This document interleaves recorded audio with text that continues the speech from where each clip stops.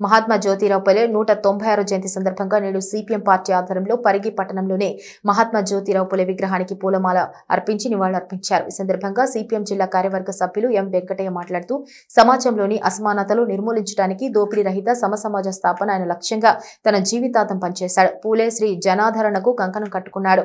కార్మిక కర్షిక తాడిత పీడిత మహిళా విముక్తి కోసం విరోచంగా పోరాడారు. పూలే దేశంలో సామాజిక విప్లవ పితామహుడు గుర్తింపు పొందారన్నారు. ఆయన ఆశ సాధన కోసం సిపిఎం పార్టీ నిరంతరం కృషి చేస్తుందని ఆయన అన్నారు. ఈరోజు జ్యోతిరావు పూలే నూట తొంభై రోజు జయంతి సందర్భంగా పరిగి పట్టణంలో సిపిఎం పార్టీ ఆధ్వర్యంలో మహాత్మా జ్యోతిరావు పూలే విగ్రహానికి పూలమాల జరిగింది. ఈరోజు భారతదేశంలో జ్యోతిరావు ఒక మార్పుడు ఈ యొక్క సామాజిక వివక్షకు దోపిడీ రహిత సమాజం కొరకు అదే రకంగా ఈ భారతదేశంలో మొట్టమొదటి వారి భార్యను చదువుల తల్లిగా ఈరోజు భారతదేశానికి పరిచయం చేసినటువంటి జ్యోతిరావు పూలే యొక్క ఆశయాలు చాలా మహోన్నతమైనవి. అందుకొరకే భవిష్యత్తులో ఖచ్చితంగా సిపిఎం పార్టీ ఎల్లవేళలా జ్యోతిరావు పూలే కళ్ళగన్నటువంటి దేశాన్ని నిర్మించే విధంగా ఈరోజు భారతదేశంలో ఉపయోగించే వ్యతిరేకంగా దోపిడీకి వ్యతిరేకంగా ఏదైతే పెత్తనం ఉన్నదో దానికి వ్యతిరేకంగా కూడా ఈరోజు పోరాటం చేయడానికి సిపిఎం పార్టీ నిరంతరము ఎల్లవెల్ల తమ శక్తి వందన లేకుండా చేస్తుంది సామాజిక న్యాయం అదే ఆర్థిక ఆర్థిక సమానత్వం అంటే రాజకీయ సమానత కూడా నిరంతరం పోరాటం చేస్తుంది. అందుకొరకే ఈ జ్యోతిరావు పూలే ఒక గులాంగిరి యొక్క పుస్తకాన్ని కూడా గులాంగిరి పుస్తకంలో ముఖ్యంగా ఈ భారతదేశంలో అసమానతలు ఎందుకున్నాయంటే కుల వ్యవస్థ కారణంగానే ఈ రోజు భారతదేశంలో అసమానతలు రోజు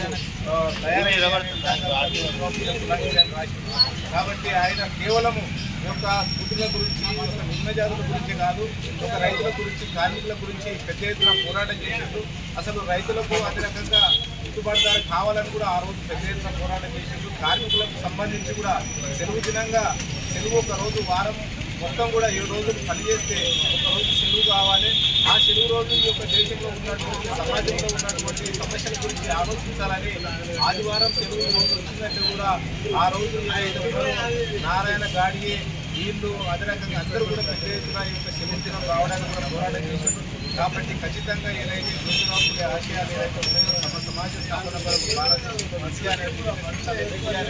అందరికీ ఆ, అందాలి అనే రకంగా ఆయన ఆశయాలకు నిరంతరం కూడా బీజేపీ పార్టీ పనిచేస్తుంది. కాబట్టి ఈ యొక్క ఆ, జ్యోతిరావు పూలే కార్యక్రమంలో పాల్గొన్నటువంటి మన సీనియర్ ప్రధాని అట్లనే మండల కన్వీనర్ అమితు అట్లనే మన రఘురాము సత్యన్న అందరూ కూడా ఇక్కడ ఉన్నటువంటి అందరూ కూడా పేరు ధన్యవాదాలు.